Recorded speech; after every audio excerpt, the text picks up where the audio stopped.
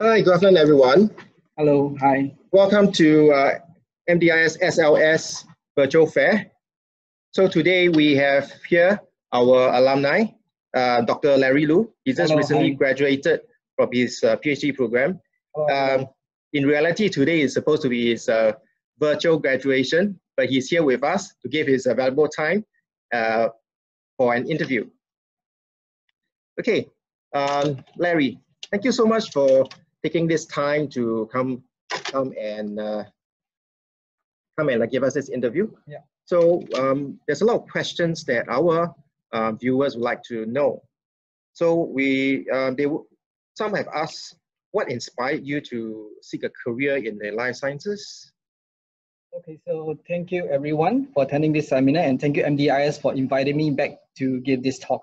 So what really inspired me in my career in the life science is that uh, I was uh, very passionate about science uh, since I was young in primary school. I remember that in the, the Singapore Science Center had this initiative called the Young Scientist Badges. So for every primary school children, you are required to complete a certain sets of uh, mini science projects, after which you will be awarded with these uh, mini science badges. And I was uh, collecting a lot of these young scientist badges. So I guess that my passion in science was quite evident since young. And I've always been enjoying uh, Mother Nature, hiking and uh, trekking outdoors. And so when the opportunity for me came to specialize uh, in my career, I chose to enroll in the MDIS School of Life Science in 2009. So um, the the audience would also like to know um, did you encounter any obstacles in your life science learning journey? Well, yeah. And, and if so, how, how do you overcome it? Well, definitely there will be a lot of obstacles. So couple of obstacles are like, for example, trying to keep up with the scientific literature. There are so many papers being published nowadays that I have to like keep scrolling through the PubMed database to keep myself updated. And the other obstacle is uh, trying to also uh, uh, work very hard to, to, you know, to be on par with the others as well. So how did I uh, overcome this obstacle is I try to make many friends. So especially make friends who are smarter than me so that I can consult them with uh, when I have questions with regards to any homework or assignment that I might have. And the other important thing is that to work really, really hard. So science is my passion. So working hard for me, uh, it's quite, uh, quite, uh, quite a natural process as well. Yeah. So um, you made a lot of friends, uh, you like the, the science journey. So what made you choose to further your studies in MDIS as your uh, institution of choice? Well, back then in 2009, I was looking around for schools to enroll in for my undergraduate degree. So MDIS had a very strong program in the biomedical science back then in 2009 with the collaboration with the University of Bradford. So it was a direct three years honors program and allows its uh, participants to carry on to graduate studies right after the undergraduate uh, studies. So uh, if you walk around in MDIS campus back then and now, you will realize that it is really an international learning environment. I made a lot of friends from all around the world, such as uh, China, Vietnam, uh, US, UK, Indonesia, Malaysia, and Singapore. So I was really, um, really, I really like the kind of international learning environment. So I thought that MDIS is the best choice for me. So I enrolled in MDIS back then. So um, MDIS was uh, was your favorite destination because there's a lot of um, international students who you can interact with. So, Definitely. Um, how, how did MDIS prepare you for uh, a research intensive course such as the PhD program? Well, MDIS prepared me very well for the research intensive course such as a PhD. So uh, I had very dedicated lecturer. So these lecturers comes from a wide variety of backgrounds. I could remember that one of them was the head of the Health Science Authority in Singapore, Dr. Christopher Sin. So when you have lecturers who have so much experience, so the student will naturally gain a lot of experience on how to uh, how to proceed on to a better career, like for me pursuing a PhD. And to pursue a PhD, you have to go for some sort of like undergraduate internship. And I also had the lecturers who volunteered to write a recommendations letter for me as well. And I guess that one of the key criteria in the to enroll into a PhD is really the recommendations letter you can get from your professors and lecturers. So um, you had an enjoyable um, learning experience, but what were the difficulties that you had uh, when you undertook the PhD program? I think there are a few difficulties. I guess one of the main difficulty is that you don't you go in with the mindset of an undergraduate, you are most likely not be able to to make it. So in the postgraduate PhD program, you are required to study everything from the textbooks, the scientific literature, and then come up with new ways of synthesizing this new knowledge and then publish them as an original article in the journal. So that is really one of the hardest things I've ever done in my life, trying to come up with new knowledge or to challenge current existing theories. That was one of the main difficulty. The other difficulty is also to approach it, a PhD journey like a marathon. So you have to pace yourself and not be burnt out because you are most likely going to do a lot of experiments every day. And a lot of these experiments are going to fail. I guess that probably half, 50% of the experiments I perform fail. But every steps I fail bring me one step forward to uh, contributing to something in the scientific um, journey. Can really fully empathize with you yeah. because I had my, my own share of um, failures and experiments while I was doing my PhD. Okay, so um, uh, one final question for you. Yeah. Uh, what were the high points in, in your PhD program? Well, I guess that high point was, was that I was able to uh, contribute to the five uh, original publication articles in uh, top journals. And also I led teams and won some biotech competition uh, prizes uh, overseas and locally as well. Those were the really high points. I was able to also serve uh, in the Biotech Connection Singapore and the A-Star Scholars Network, contributing to the life science community. So in short, I had a wonderful journey in my uh, uh, as a, doing my PhD at A-Star. Okay, um, so that concludes our interview. So um, could you give us your, your presentation on the um, transforming trends in life sciences to see what kind of um, trends are available in the industry and academia? Sure, definitely. Oh, I press this. Right? Yes.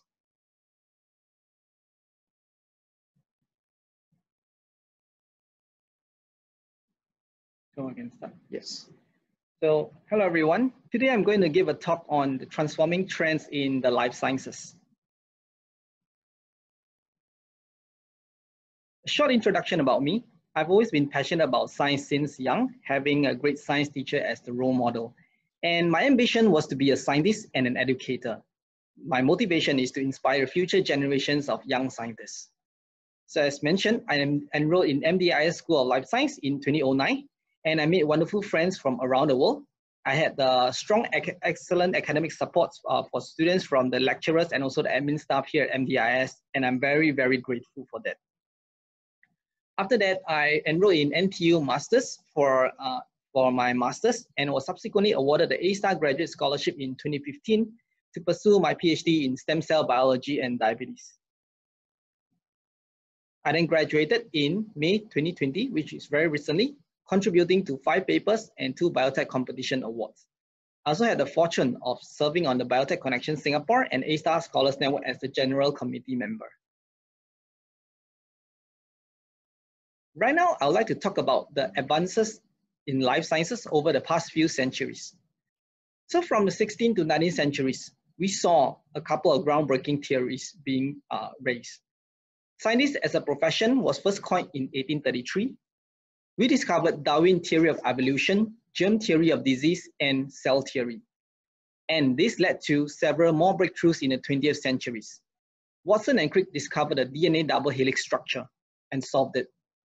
The invention of the PCR, DNA amplification, won the Nobel Prize in 1993.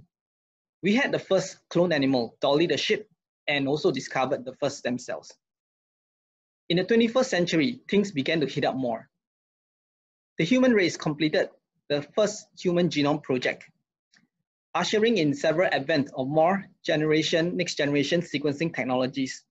The discoveries of induced pluripotent stem cells won the Nobel Prize in 2012 and we also saw advances in genetic engineering.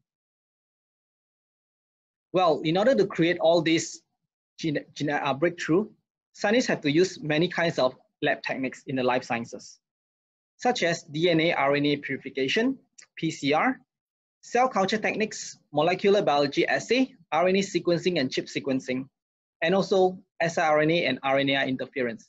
Of course, there are too many other techniques to be listed here. However, now the question we ask is, are these lab techniques still relevant and sufficient to fighting diseases in the 21st century? Apparently, no. David J. Hunter, a Richard Doll professor at the University of Oxford, said that we are fighting a 21st century disease with 20th century's weapon. So all most of these uh, lab techniques are currently in the midst of being outdated. So there's an imperative need to come up with better lab techniques and also innovation in life sciences to deal with uh, pandemics such as COVID-19. This will allow us to understand and answer questions like why are elderly more susceptible to COVID-19 infections? Can we cure cancers? And can we cure diabetes using human pluripotent stem cells? I'd like to share a couple of a recent innovation in the life sciences with you all. One example would be the CAR T cells. These are chimeric antigen T cells specifically engineered to attack cancer cells in the human bodies. So you collect the blood from the human patients and you isolate the T cells. You then specifically engineer these receptors on the T cells, allowing them to attack cancer cells in the body. You then multiply and expand them in a culture dish and you reinfuse them back into the human patients. How powerful is this technology? Well, look at this uh, little girl, Erin Cross, age seven, from the United Kingdom. So she has been in out of in and out of hospital since the age of two, having a uh, chemotherapy uh, sessions for her, her cancer. However, the cancer has always been relapsing and there was no cure for her. At the last resort, her parent opted her to receive this CAR T cell therapy in 2018. And since then, she has been cancer free in, the cancer has been remission since then. The advantage of this CAR T cell therapy is that it has very short treatment time, around two to three weeks, and it has the potential to replace chemotherapy as a conventional treatment. The recent second re recent innovation in life sciences is the CRISPR, also known as the clustered regularly interspaced short palindromic repeats, which is used for gene editing. Well, in June, just last month, three people with the sickle cell anemia has been successfully treated with CRISPR. Sickle cell anemia is a disease whereby there is a mutation in the beta globin gene, resulting in the red blood cell having this sickle cell shape. So it is unable to carry oxygen effectively. So using CRISPR, they are able to replace this defective copy of the beta globin gene with a functional copy. And the body stem cells are then able to produce the normal red blood cells cure, resulting in a cure for these patients. However, this uh, CRISPR can be abused as well.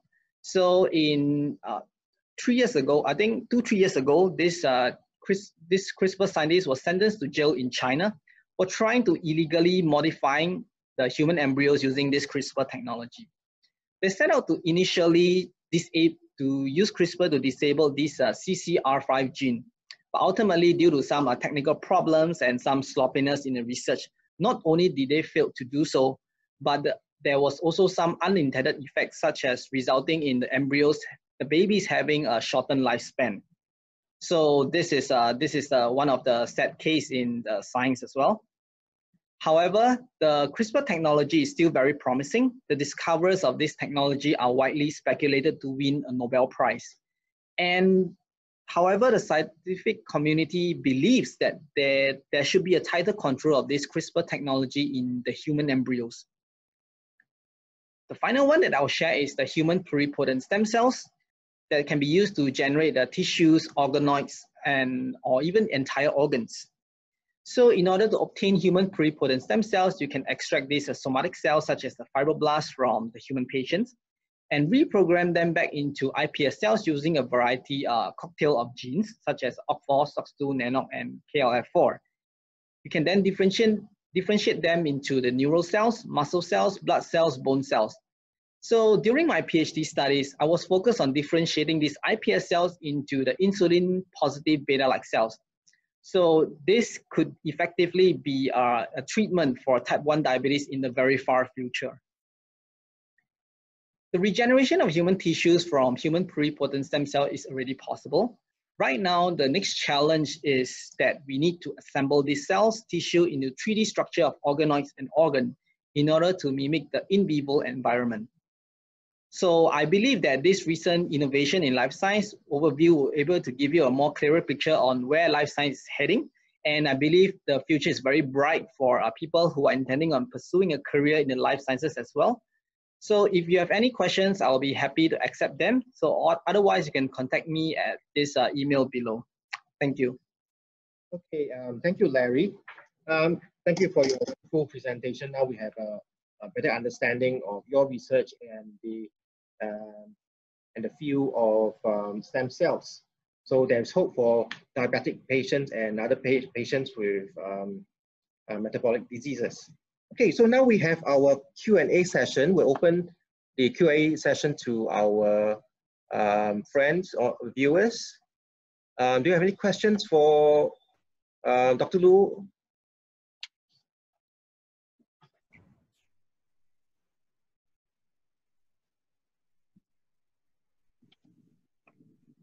Okay, there's one uh, private message. Um, Dr. Lu, what is the, um, in, your, in your experience, what is the best um, PhD system in, in the world? Well, let me share with you uh, two kinds of PhD system, the US versus the Europe system. So in the US system, PhD tend to take a uh, couple of years longer, for it's average around five to six years. This is because during their first two years, they are trying to, uh, the first two years, they are trying to come up with a scientific project uh, to, to, to do their research in, and they are mostly trying to take, undertake some uh, teaching duties as well. But for a PhD in the UK system, more or less the project is already defined by the professor during the first year. So that's why it's taking a shorter time, uh, around three years. So if you are if you are more focused on having a shorter PhD, so it's best to head to the Europe, UK, where the PhD is much shorter as well. But if you like to have a more comprehensive experience, especially when uh, you are more focused on the ranking of universities, I believe that US is still the best place that you should be heading towards still because right now you can see that majority of the Nobel Prize winners are still from the United States and the United States universities are still ranking very high number one, I think, is still Harvard on or MIT as well. Yeah. That's interesting. So uh, some more questions from the audience. Um, from Laura, what do you think makes a successful biomed undergraduate? So what do I think makes a successful biomed undergraduate? Well, first of all, from my experience, from my previous experience in MDIS, one of the, if you ever could choose one criteria, that would be to work really, really hard because I've seen that some of my classmates, they are very smart, but they don't put in enough effort. So for me, I don't consider myself that smart, but I work really hard. For example, during after classes, I would be peppering the lecturers with a lot of questions. And often I will also email them whenever I have any uh, problems with my assignments and homework as well. So I'm sure that hard work will not only make you a successful biomed undergraduate, but it will make you a success in all other areas of life as well. From Umaya, after I finish my honors degree, do I continue to do my master's or just continue to do my PhD? Or do I have to work and gain experience? Uh, thank you for this question. So after you finish your honors degree, well, for people who are not sure whether they want to do a PhD, they can opt to do a master's first. I would say that a master's is more like a short-term PhD, which allows you to gauge whether you are you have the interest and passion to go for a PhD. On, on the other hand, you can choose to do a PhD first uh, right after your undergraduate studies. But I do have to say that several people who have done that might not might find that have doing a PhD right after their undergraduate is not suitable for them. So in, eventually they drop out of the system. And for the third case is that you can you can start working first uh, and gain experience because your work experience will count towards during your interview in the PhD program as well. And the most important thing is also I mentioned is the reference letter. If you have some uh, good working experience, your professors or some uh, your employers will be able to write very good referral letter for you. And this will score you a lot of points during the PhD interview. So one more uh, private question. Uh, so what would be what would be the cost of a PhD program? Is it going to be more expensive than the undergrad uh, program? Well, for the PhD program, so for me, I was under the A-Star Graduate Scholarship. So everything was funded by the Singapore government. I'm not quite sure about the cost, but I believe that it should be slightly more expensive than the undergraduate course in NTU. And I understand that uh, most PhDs are actually funded through um, scholarships yes. or through the um, lab, um, the, the, the principal investigators uh, lab funds. Okay, uh, another question. Um, there's about three months before October intake.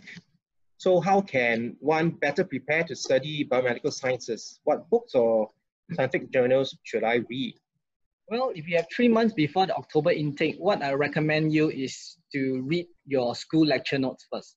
So if you start looking, reading the scientific journals, I'm afraid that it will be very complicated because they are assuming that readers of these scientific journals have already a certain levels of knowledge. As an incoming undergraduate, I suggest you start looking at the, the school lecture notes because they are more uh, simple and more concise after you build up your knowledge from reading the lecture notes, then you can start moving to more complicated stuff, such as I would recommend you this uh, book called The Molecular Biology of the Cell, which is one of the main textbook that every molecular biology student would use in their course. And um, I also recommend um, for, for you to read um, textbooks such as um, molecular bio or um, biochemistry and maybe genetics, because these are the three core, these are the three core modules which will be covered in the biomedical course. And if you're really, uh, really in, into hardcore reading, then take up a book that's on um, clinical diagnostics. Okay, next, um, I'm a biotech student now at ITE. Will it be a struggle for me when I enter the foundation diploma in biomedical school? Okay, I'll answer this. Um, um, it will not be a struggle for you um, in the foundation diploma because this is uh, uh, this just lays a foundation for you for entry into the degree program. Um, you'll be slightly, you'll be paced, you'll be paced slightly faster than ITE, but you'll be not so intense as the diploma courses in Singapore.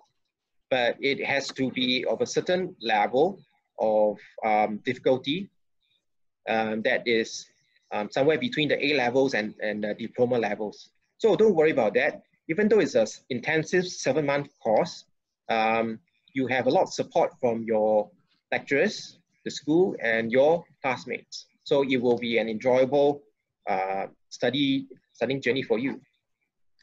Okay. Uh, what key skills do you think are crucial for biomed graduates? Or what key skills will I gain from this course? Well, for biomed graduates, you're going to pick up a lot of um, laboratory skills, especially in uh, molecular biology. You learn how to um, perform a lot of um, tasks. Uh, for example, um, PCR. Um, you learn how to do cell culture. You learn how to um, do staining for bacteria to identify the strains.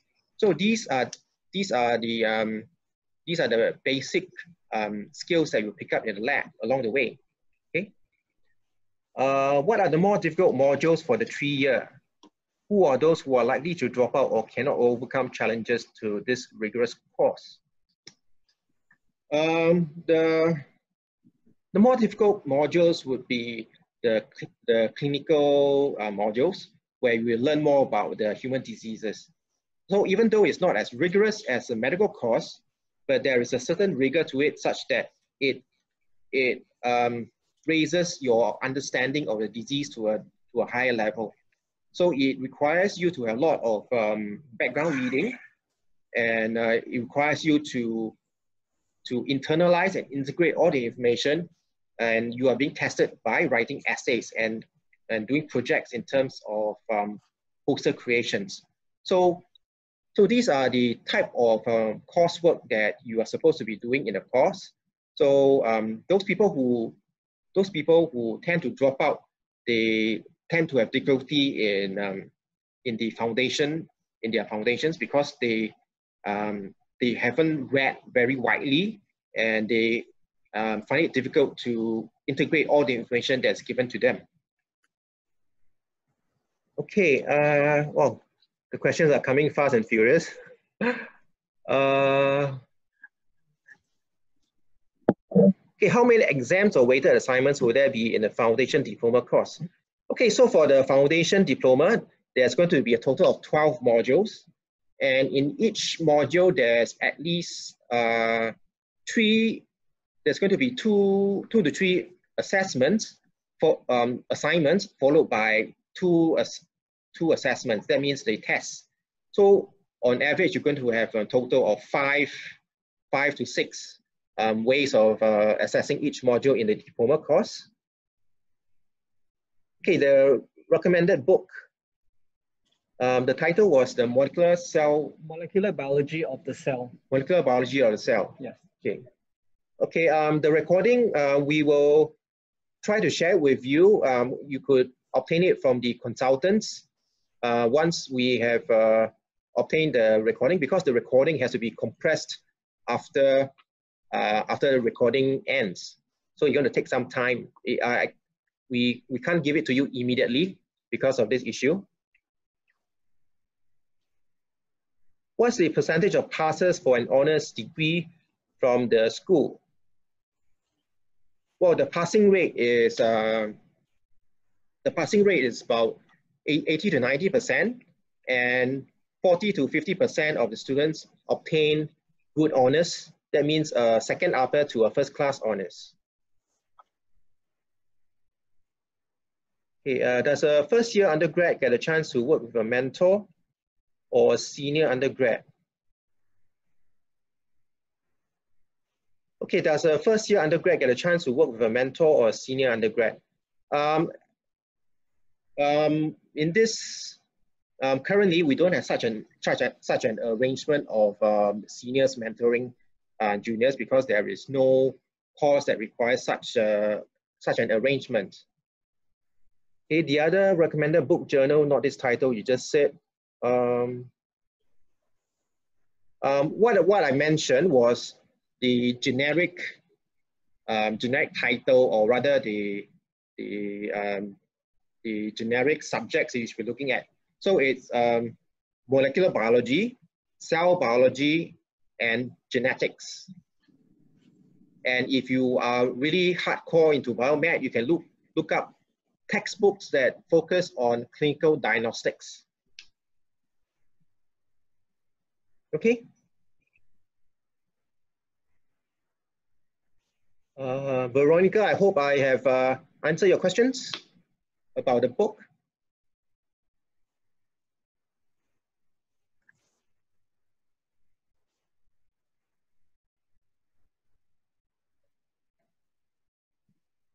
the research project in year three is like?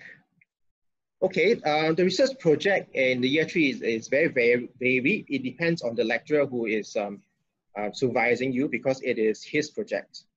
So the project can be as diverse as um, uh, microbiology. Um, you discover the microbes from, from samples that you obtain around you, um, from the soil, from the water, uh, from your food to see what kind of what kind of microbes uh, exist in, in, the, in these uh, samples.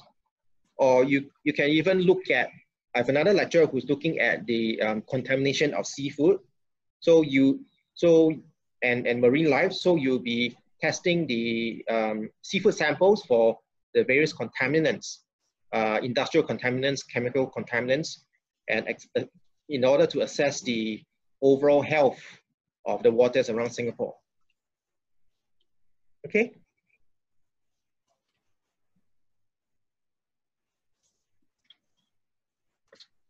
All right. Uh,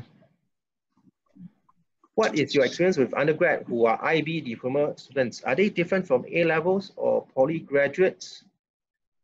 Um, my experience um, is, is quite um, scanty because I've only encountered one or two IB students, but I find that IB students, they tend to be uh, more vocal, they have better oratorical skills, they relate better and communicate better compared to the A levels and poly graduates. I, I think it has something to do with how they are being taught in the IB curriculum.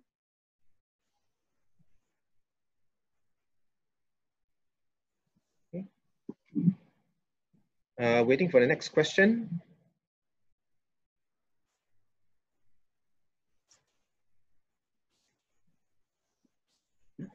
Um, at the moment, we don't have an internship program um, for our degree. Our, our degree programs, they are three-year um, direct honors.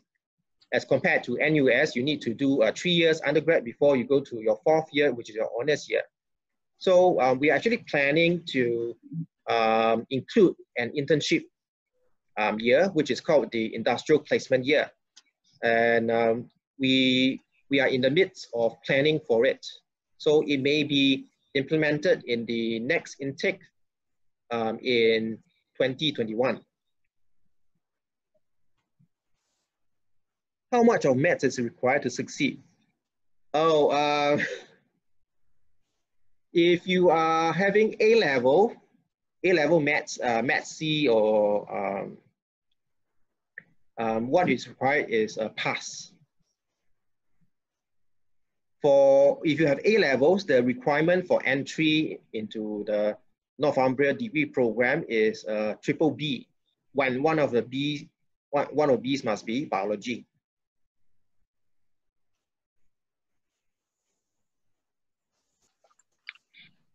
Okay, so I hope uh, that allays some of the fears of people who are challenged in maths.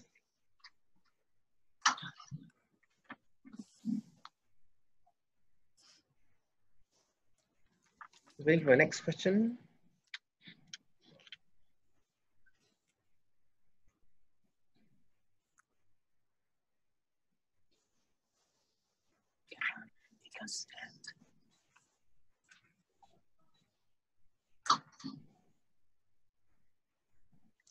Okay, there's uh, one more question. One more, one more question. Um, is there? Okay, one if I am entering with a high NITEC, how much math do I require? Hmm. Um, um, Humaira, it's difficult to answer your question right now, um, but maths is not a, it's not a very um, high priority subject. As long as you have a pass in your math subject, I think it should be fine. What is, what is important is that you have a biology subject or biology related subject. Um, for example, um, biology at, all at um, uh, if you have biology or bio, biochemistry kind of um, related subjects.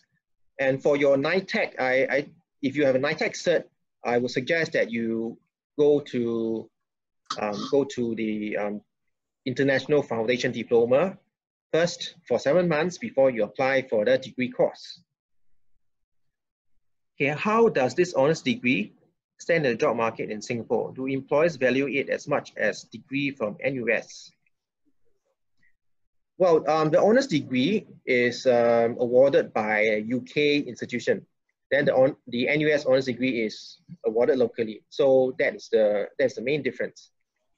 So for employers, it should not make a it shouldn't be shouldn't be an issue because um, ours is not a long distance, um, not a long distance learning um, degree. It is a full-time on-campus and um, full-time on-campus um, learning learning program. So the honors degree that you obtain stands as as good as the honors degree from NUS. Can I share my thoughts? Uh, yeah, sure. So uh, many of my classmates who graduated from the same batch as me are actually employed in the institutions such as Duke NUS, NUS and NTU. So in fact, you can find some of them in A-STAR as well. Some of them have gone even better to do a, a PhD, a master's program overseas in the UK as well. So this goes to show that uh, there is definitely a certain amount of recognition given to this honors degree from UK and the MDIS. So you shouldn't have to worry about this.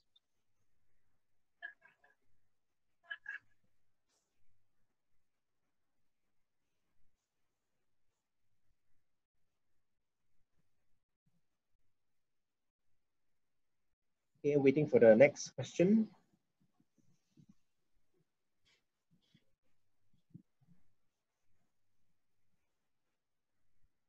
Thank you. Uh, you're welcome, Veronica. Uh, I just hope that it's been um, informational for, for you to make your decisions.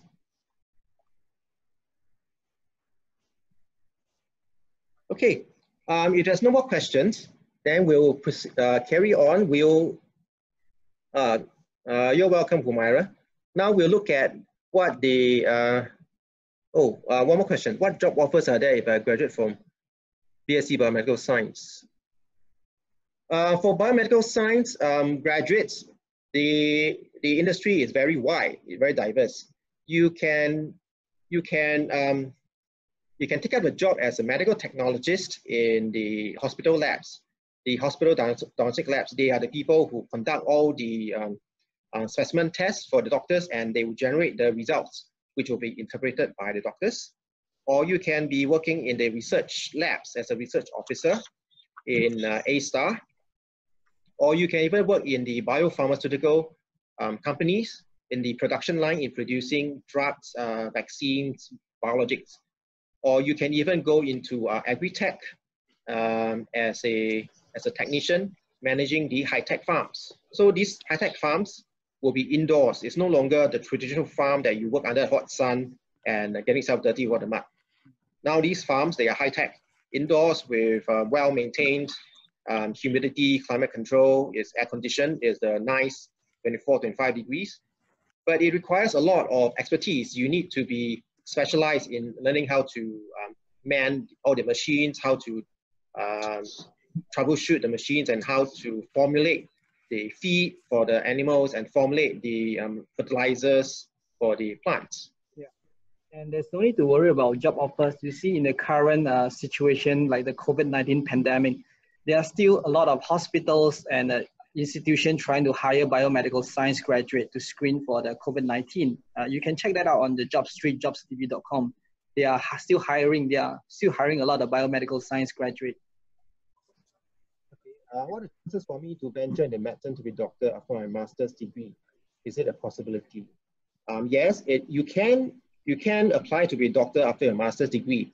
Uh, it's usually to those labs with uh, those um, medical schools which which offer uh, the medical course as a postgrad degree. One example in Singapore is actually the Duke NUS. It's a, a postgrad degree. Uh, or, okay. Rizmi, I graduated from Nanyang Poly with a diploma in biomedical engineering. May I know if I start in year one or year two?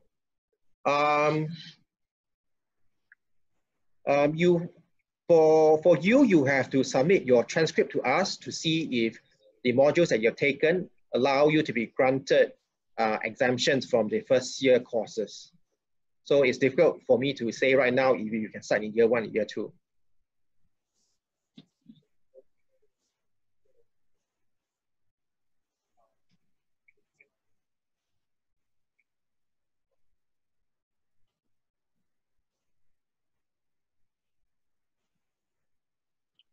Um, so um, if you have a diploma in, well, the exemptions would mainly be for, for, for the applicants who have taken um, anatomy, physiology, those would be the usual exemptions. Um, no, we don't have uh, the student uh, mentoring a student um, system in uh, MDIS because there is no requirement.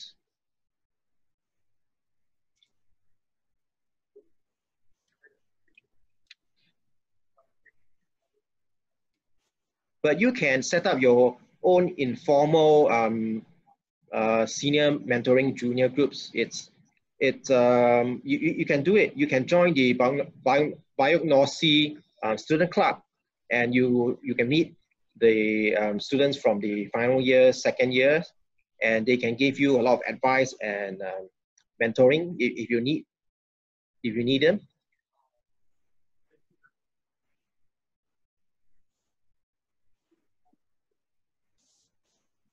It's called Biognosy Club. B-I-O-G-N-O-S-Y C-L-U-B, Biognosy Club. It is the uh, MDIS SLS Students Club.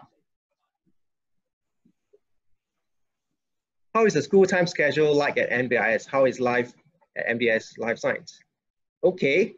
Um, MDIS School of Life Sciences is um, it's not an easy place to be because the timetable schedule is very packed because of the number of modules that you have to take and the amount of assignments that you have to complete. So I have to be very upfront, um, upfront frank with you. It's not going to be an easy task coming here because your time schedule will be spent in school almost all the time. Well, now you don't come to school, you do your schoolwork at home. So your time will be all filled up with um, lectures, um, seminars, practicals, discussion groups, and project work. So it's going to be very, very intense and it's going to be very, very fulfilling for you at the end of the course.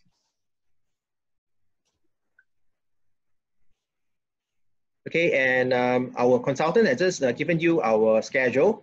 It's uh, daily, 8.30 to 6.30 p.m., Mondays to Fridays. And every lecture, every, um, every um, class session is three hours long. So you have to be prepared. You'll be prepared to sit through a three hour long lecture or a three hour long practical.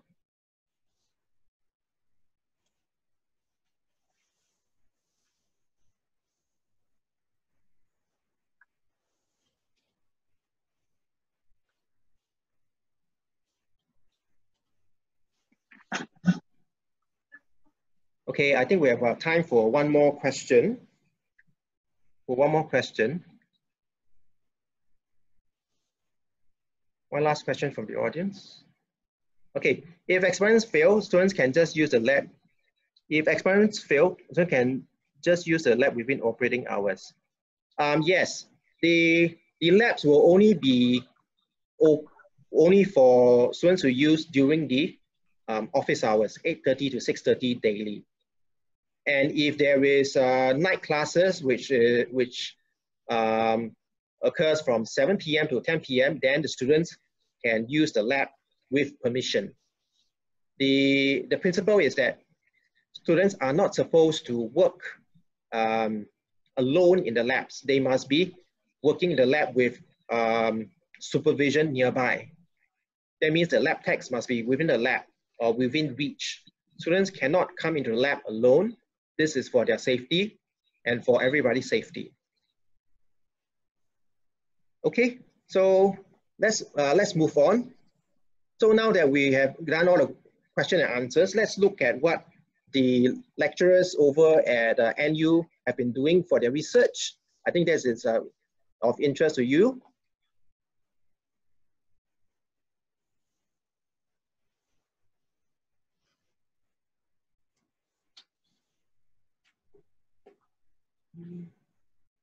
So I'll be highlighting the interviews um, from two um, lectures, one from the biomedical sciences and the other from the biotech sciences.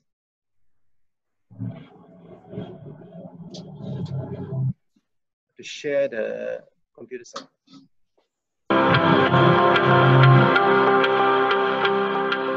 My name is Dr. Sterghios Moschos. I'm an Associate Professor of Cellular and Molecular Sciences at the Department of Applied Sciences here at Northumbria University. The biggest single challenge facing the world today is literally the battle between humans and pathogens. My particular interest is especially the lung and the liver. I have in the past worked a lot with diseases such as hepatitis C virus, trying to get single shot gene therapies that can prevent people from getting the disease or treat those that have it. So my research looks at both how do we treat these genetic diseases and how do we change the genetic behavior of our organism to respond to non-genetic diseases, but also how do we measure what's happening in the organism at the same place and at the same time. I think it's crucial that research, any kind of research, be it in drama or diagnostics, it's, it's really important that whatever we do actually is translated into something that has an effect in society and economy. I bring my research into my teaching in every opportunity that I get. It's an old adage that repetition is the mother of all learning, but in my experience, it's practice and actually feeling what you're doing with your hands that lets you learn what is happening out there. My personal preference is not for people who can reproduce knowledge word for word as it's written in a textbook.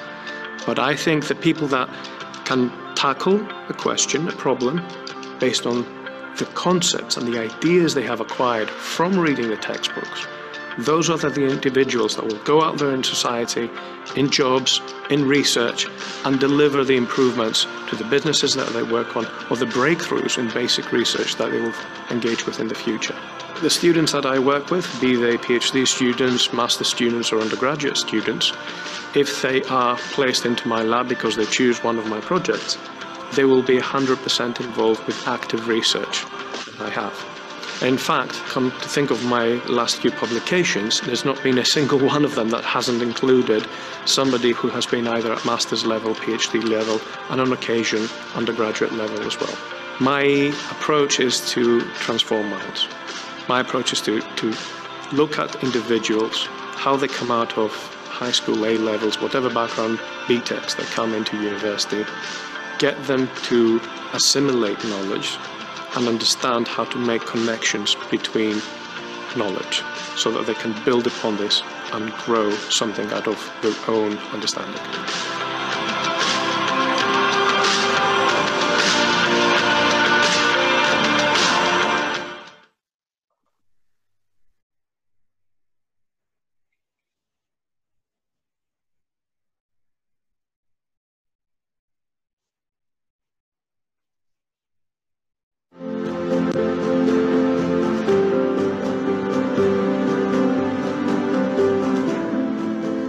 So my name is, is Gary Black. I am a professor of protein biochemistry within the Department of Applied Sciences at uh, Northumbria University.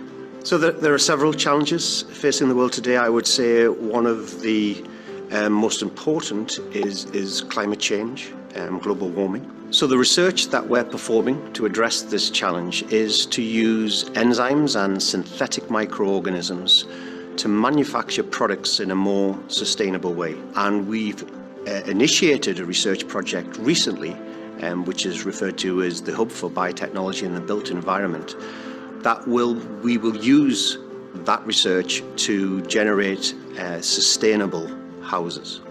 So we bring our research into teaching in various modules, units within the courses that we teach. So some of these units are current topics in particular areas where staff engage the students with their current research. And we also have a final year project um, which will actually facilitate students working with staff in the actual areas that they're researching.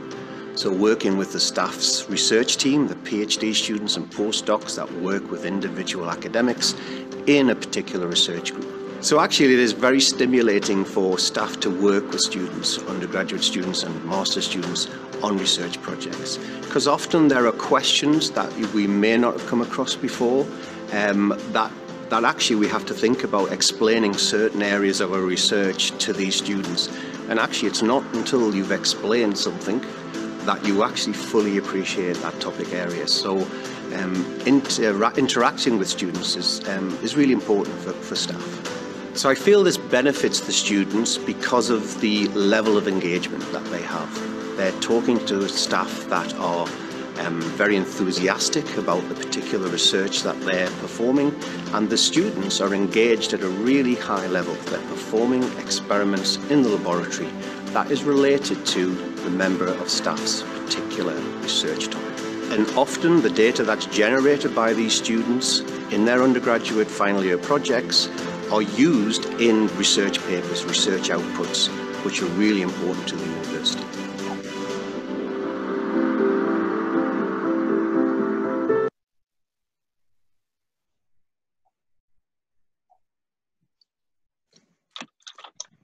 Okay, so that's the presentation um, from our um, from our lectures over at NU. So now let's go and take a look what our students are doing in the lab. And I can also give you a virtual tour of our labs. Okay. Oh, hi, Arif. Hey, Hi. So what are you doing today? So uh, I'm just looking for my, just take some time to, to the left, to my right. The ones that you're working.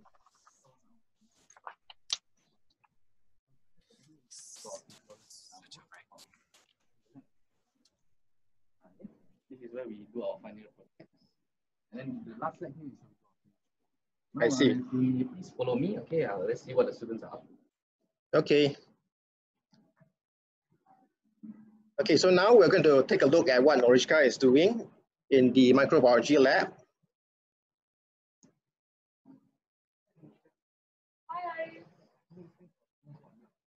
So I am sitting uh, in front of the laminar flow cabinet and uh, a special feature of this cabinet is that it has a UVC germicidal lamp which helps maintain a sterile environment uh, throughout and the sterile environment is very important for any microbiological or cell culture work that you do.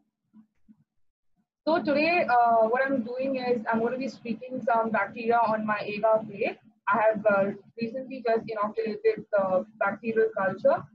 Uh, yeah, so let's see how we do that. So before I start, I'm just going to spray my hands with some ethanol. So this is the bacterial culture.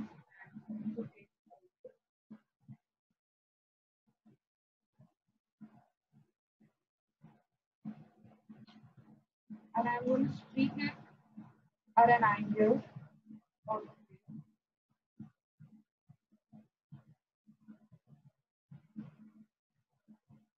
So I'm doing this really gently to avoid any breaks in the agar.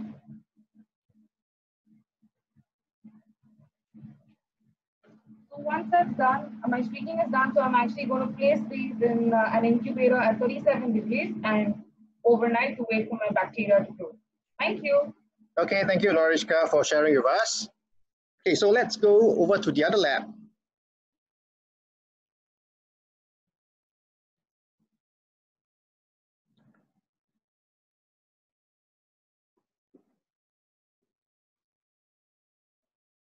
Okay.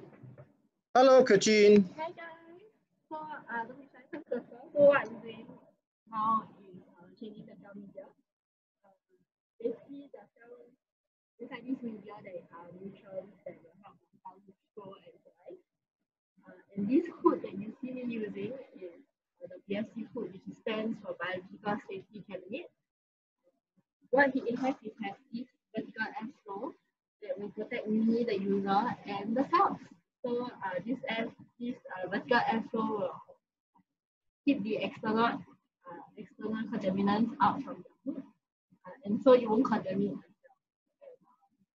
So my cells can not die because it's not contaminated, and also uh, this vertical airflow will also protect me, the user, because uh, if there's any aerosol from the cell culture, you uh, it will not escape to the external environment, so it will protect me. Uh, and before you can use this BSC hood, uh, you need to learn the proper aseptic technique, which is to write down your your table with 70% ethanol before using the hood. Uh, and so this branch is called cell culture, which basically we use it for research, like cancer research, uh, drug testing. Uh, so the cells inside here will be a simple human model which will be able to tell you whether the drug is effective and whether the drug is toxic not. Okay, okay, thank you, Kajin. Okay, bye-bye. Okay, next we'll go over to Tanya and see what she's doing.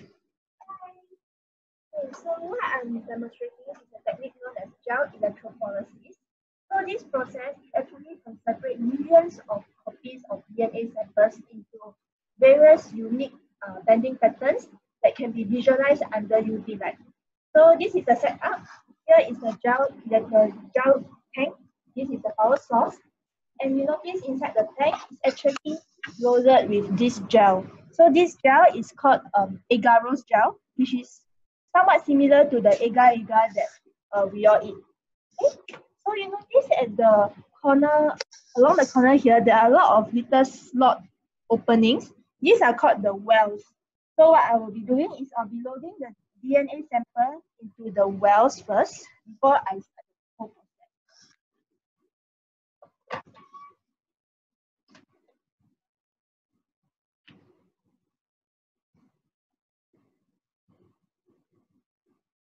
Okay, so because the gel is very fragile, so I must be very careful when I'm um, aspirating the sample inside the well. Otherwise, if I puncture the gel, the sample inside may actually leak out into the surrounding buffer and then this can affect the accuracy of the results. So I'll just position the tip above the well and then I'll keep my hand steady. and I feel confident, then I'll aspirate out and plunge the sample out.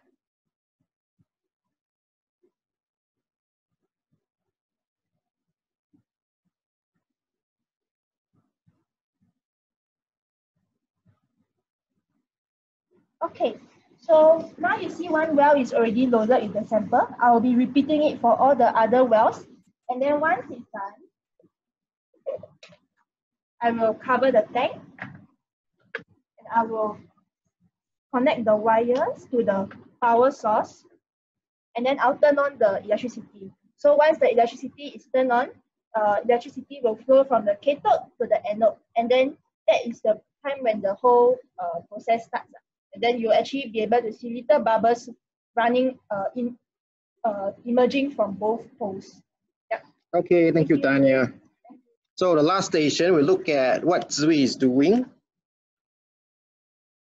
Hi, Zui, what are you doing?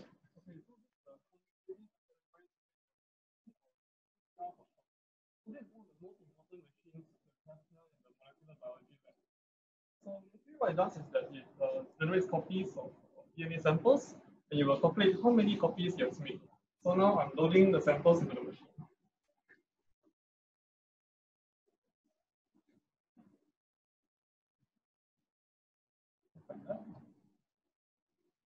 And uh, okay, so for uh, analysis around two hours, you have results similar to this. And from here, you can calculate how much of the original DNA was in our sample. I see. Okay, thank you, Zui. Okay, so that concludes the end of our sharing session with the viewers at home. So I hope that you guys have gained a better understanding of um, SLS and what we have to offer, and hope that you'll sign up if, after this uh, today's session. Thank you. Bye bye. Dr. Eugene, I'm sorry. Yes. I would like to please allow us to introduce ourselves because. Oh, I'm sorry about that. Okay. It's okay. We're their consultants. My name is Richie. Good afternoon, everyone. And this is my colleague Stanosa. Two of, hello. Two of us will be assisting all your applications. And today, thanks for joining us. And I would like to inform all of you guys that we're offering the rebates for all applicants applying today.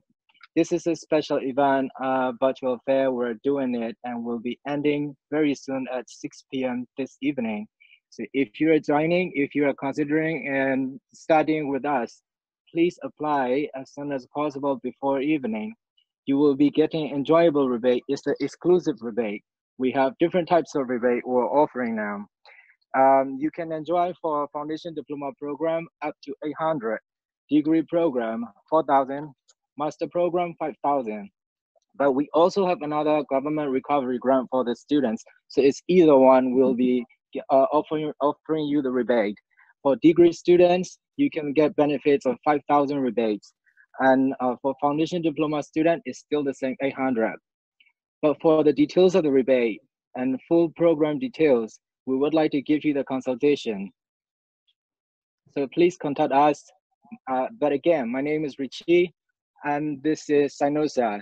Our contacts will be sharing to you guys as soon as possible. We'll be assisting you your consultation, application, and until to enrollment. We'll, we will be supporting you in any, any way. Thank you very much for joining us. I'm so glad you're, so, you're here.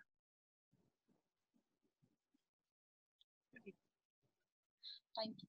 Thank you.